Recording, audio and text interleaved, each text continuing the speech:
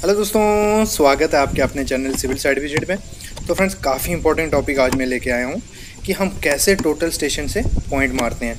तो वो मैं आज टोटल प्रोसीजर बताऊँगा स्टेप बाय स्टेप तो कोई भी फ्रेशर है साइट इंजीनियर है इजीली इस वीडियो को देख के पॉइंट मार सकता है। मतलब अगर उसको टोटल स्टेशन के बारे में कुछ भी नहीं पता है, वो तब भी ये वीडियो देख के इजीली पूरे स्टेप बाय स्टेप वो पॉइंट कर लेगा। ये मेरी गारंटी है। तो फ्रेंड्स चैनल को सब्सक्राइब करो शेयर करो, क्योंकि इस पर दो वीडियो और आएँगी कि हम लेज़र से कैसे कर लेते हैं डायरेक्ट और नया कोऑर्डिनेट अगर करना हो, वो कैसे करते हैं, वो सब मैं आपको बताऊँगा। तो मैं पूरा प्रोसीजर बताऊँगा। पहले मैं थियोटिकल समझा दूँगा कि मैं आज बताने क्या वाला हूँ, क्योंकि जिनको टोटल स्टेशन के बारे में कुछ नहीं पता है तो उनको थोड़ा दिक्कत होगा। तो इस सबसे पहले मैं बता दूँगा कि कैसे हम मतलब करने क्या वाला हूँ। उसके बाद मैं आपको total procedure step by step बताते जाऊँगा। सबसे पहले मेन चीज़ जो सीखनी होती है, पहले टोटल स्टेशन को लेवल करना। तो सबसे उस पर क्या करना है आपको? पहले मशीन आपकी सेट हो गई। तो एक चीज़ आपको ध्यान देनी है कि जो बबल है, सामने देख रहे हो, वो पहले सेट कर लेना है आपको। मतलब जो ट्राईपोर्ट स्टैंड है, उसी से। क्योंकि इसमें एक्यूरेसी बहुत होते हैं तो एरर आने के चांसेस होते हैं, अगर आप ज़्यादा उसको आगे पीछे करोगे। सबसे पहले जो बीच वाला बबल देख रहे हो, वो इन दो स्क्रू से कर लेना सेंटर में जो वाई है जो वाई वो हो जाएगा। उसके बाद जो पीछे वाला बटन होता है ये वाला इससे आपको क्या करना है जो ऊपर एक्स है उसको कम कर देना है। और इसमें चलता है थोड़ा बहुत एरर चलेगा चार से पाँच। बाकी आपको इसको पहले मेन यही है। अगर ये सेटअप अच्छा सेट बैठ गया आपका ट्राईपोर्ट स्टैंड तो नहीं नहीं नहीं कोई आगे छाता ले छाता चाहिए ये सोकिया का न्यू है तो इसमें ज़्यादा इतनी दिक्कत नहीं आती। जो पहले पुराने रहते थे उसमें डबल बबल आपको सेटअप पानी किसको मारना है? ये रहने तो पानी नहीं मारना कल छांटा तो उसको मतलब एक्स के लिए आपको पीछे वाला करना होता है नहीं और वाई के लिए जो सामने वाले दो हैं उनसे आप उसको कर सकते हो लेवल जैसे एक बार लेवल हो जाता है जैसे अभी हम्म। ये हमारा हो रहा है। तो वही मैं एक बार लेवल करके आपको मशीन सेट कर लेता हूँ। उसके बाद मैं समझाऊँगा कि आज मैं करने क्या वाला हूँ। ये मेरी हो गई सेट तो इतना एरर थोड़ा बहुत चलता है। हमारा बबल दो जो दोनों बबल हैं वो सेंटर में आ चुके हैं। तो इसके बाद हम क्या करेंगे, उसको ओके कर लेंगे। ये हमारा ओके हो गया। इसके बाद मैं आपको प्रोसीजर बताने से पहले मैं थ्योरेटिकल समझा लेता हूँ क्या करना है। उसके बाद मैं स्टार्ट करूँगा। तो इसमें करना क्या है, मैं थ्योरेटिकल आपको बता देता हूँ क्या करना है। ये हमारा टोटल स्टेशन है, जो हमारा सेटअप हो गया मतलब लेवल हो गया, सब उसका, ठीक है? तो पहले क्या करना होता है मतलब कोऑर्डिनेट को रीसेट करना है। मतलब कि जो हमारा ये लगा हुआ है, ये अपनी पोजीशन पे है मतलब उससे इसके टीबीएम जो हमारा रहेगा, पहले से रेफरेंस पॉइंट ठीक है? उसको रीसेट कर लेना है। वो मैं बताऊँगा कैसे करेंगे। ये दोनों पॉइंट आपके पास एक्स कोऑर्डिनेट भी होगा वाई भी होगा। ये यहाँ तो ड्राइंग में दिया रहेगा। या आपको क्लाइंट ने जहाँ जहाँ आप वर्क कर रहे हो, वहाँ पे पहले से होगा। तो ये भी होगा। दो मतलब आपके कोऑर्डिनेट होंगे। ये आप पुराने रेफरेंस से भी मार सकते हो, जहाँ भी आपको लोकेशन सेट करनी है, वो मैं नेक्स्ट वीडियो में बताऊँगा। पहले आज जो हमारा है कि ये दोनों को पहले रीसेट कर लेना है रीसेट उसके बाद जो भी आपको वर्क करना है कॉलम का पॉइंट मारना है चारों तरफ़। ठीक है? ये इससे क्या होगा? इजिली आप यहाँ चार पॉइंट मार लोगे तो कॉलम सीधा पोजिशन में आ जाएगा। यहाँ करके कॉलम आपका इरेक्ट हो जाएगा। यहाँ ये वॉल होगी। तो आप यहाँ पॉइंट दे दोगे, यहाँ दे दोगे, यहाँ यहाँ तो इजिली आपका लाइन मिल जाएगी कि इसमें हमारा यहाँ इधर दे दोगे तो यहाँ से आपकी वॉल मुड़ रही है।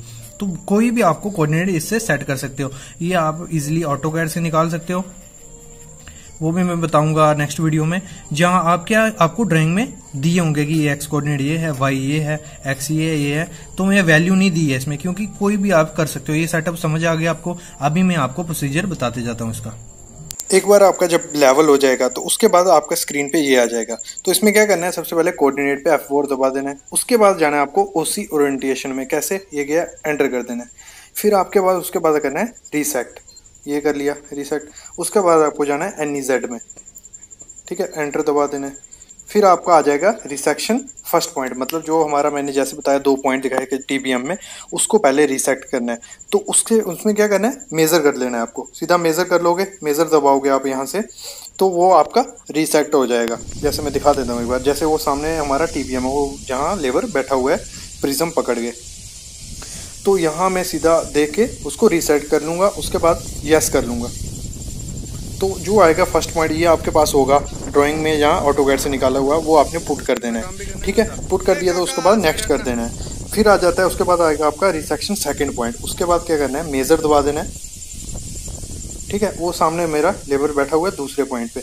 तो वहाँ आपको मेज़र करके ये कर दिया मेज़र ठीक है? जब रीसेट हो जाएगा, फिर कर देना है यस फिर आपका आएगा सेकंड पॉइंट और ये आपके पास पॉइंट होगा, इसको आपको पुट करके डाल देना है। पुट कर लिए जब, उसके बाद क्या करना है? उसके बाद आपको करना है कैलकुलेट एफ़ फोर से दबा के आपका कैलकुलेट आ जाएगा। ये हो गया। उसके बाद करना है आपको रिज़ल्ट और रिज़ल्ट देख लेना है कि कितना है? बन तो ये चलेगा। स्केप करके ओके कर देना है, फिर जैस, फिर ओके तो आपका बाहर आ जाएगा। मतलब आपकी मशीन सेट हो गई, सब पॉइंट आ गया। अब इजली जो भी आपको कोऑर्डिनेट मारना है, वो आप इजिली डाल के पुट करके कर सकते हो। मैं एग्ज़ाम्पल भी दिखा दूँगा आपको। अब दूसरा स्टेप है, आपको करना है एसओ डाटा पे। मतलब ये स्क्रीन आपकी आगे पीछे होगी। उसके बाद क्या करना है फ़ंक्शन दबाना है, उस आ जाएगा आपका एसओ डाटा एसओ डाटा पे एफ़ फोर दबाओगे जब आप, ठीक है? उधर आएगा फिर एसओ डाटा तो इसको आपको एंटर कर देना है। एंटर करोगे तो आपका यहाँ आएगा कोऑर्डिनेट फिल करने को।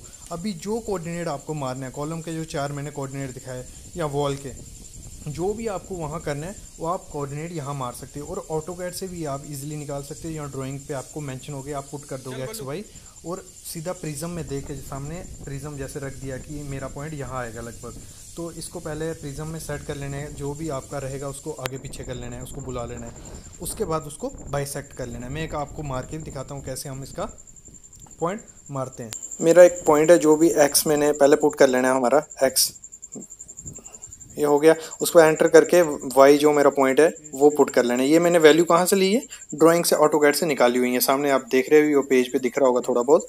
एक्स वाई जो होंगी, वो वैल्यू पुट करके आपको कर देना है। ओके ओके कर लिया। उसके बाद क्या करना होता है? जो डिग्री होती है मतलब सामने दिख रहा होगा नाइन डिग्री इलेवन डिग्री उसको ज़ीरो ज़ीरो करना होता है मशीन को हिला के। ये देखो फाइव फोर थ्री मतलब टू ये डिग्री पहले बिल्कुल ज़ीरो कर लें डिग्री का मतलब क्या है? आपका पॉइंट उस डायरेक्शन में आएगा। तो अगर एक बार ज़ीरो हो गई तो आपको मतलब उस लोकेशन पे आप पहुँच गए। डिग्री जब ज़ीरो हो जाएगी उसके बाद क्या करना है? जो इसमें ये थ्रेड होता है इसको लॉक कर देना है। मतलब आपकी मशीन फिक्स हो गई कि वहाँ से आपकी नहीं हिलेगी। ये मैंने लॉक कर दिया। अभी थोड़ा बहुत फ़र्क आ रहा है। तीन दो एक fifty seven twenty nine minus में होगा। वन डिग्री चलेगा, ठीक है? उसके बाद आपको मेजर कर देना है। मतलब प्रिज्म में ऊपर दिखा रहा होगा, दो मीटर आपको आगे पीछे जाना है, वो आप मशीन को ईजिली हैंडल कर सकते हो। मतलब आगे जाना होगा तो जो आपका देखने का थ्रू होगा, उससे को आगे कर देना है और पीछे जाना होगा, पीछे। वैसे ही प्रिज्म को आगे पीछे करके आप पॉइंट मार सकते हो।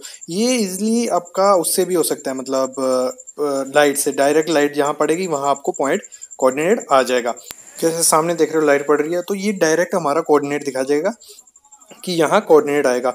और इसकी हेल्प से आप प्रिज्म भी सेट मतलब रखवा सकते हो वहाँ, और डायरेक्ट उस पर भी पॉइंट मार सकते हो। लेकिन आज मैं जो वीडियो में बताने वाला हूँ, वो मैं बाइसेक्ट करके बताने वाला हूँ। ये लाइट का प्रोसीजर मैं बाद में बताऊँगा, ठीक है? ये देख रहे हो, सामने हमारा लाइट ये पड़ रहा है कि यहाँ हमारा पॉइंट आएगा। तो इसको आगे पीछे कर सकते हैं कि जहाँ कितना आगे जाएगा, कितना पीछे, वो हम कर सकते हैं इसे ईजिली